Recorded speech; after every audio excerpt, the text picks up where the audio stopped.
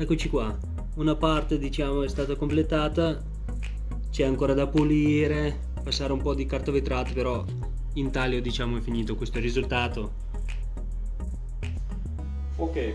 Per abbassare questi spazi qua userò questi 5 coltelli. Il coltello da primo taglio un altro coltello e queste tre sgorbie che non sono piatte ma hanno una leggera curvatura perciò sono molto utili per fare questo lavoro qua.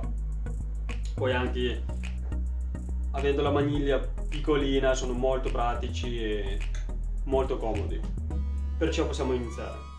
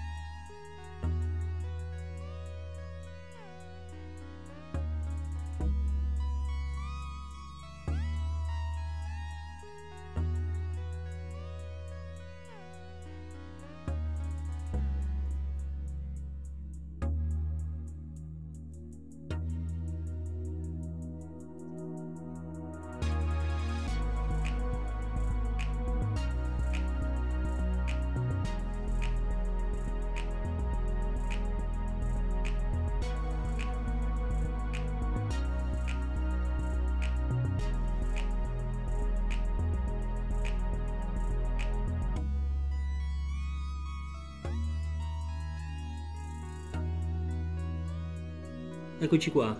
Una parte diciamo è stata completata. C'è ancora da pulire passare un po' di carta vetrata però in taglio diciamo è finito questo risultato. C'è bello mh, mm, bella profondità diciamo. Come possiamo vedere? Ok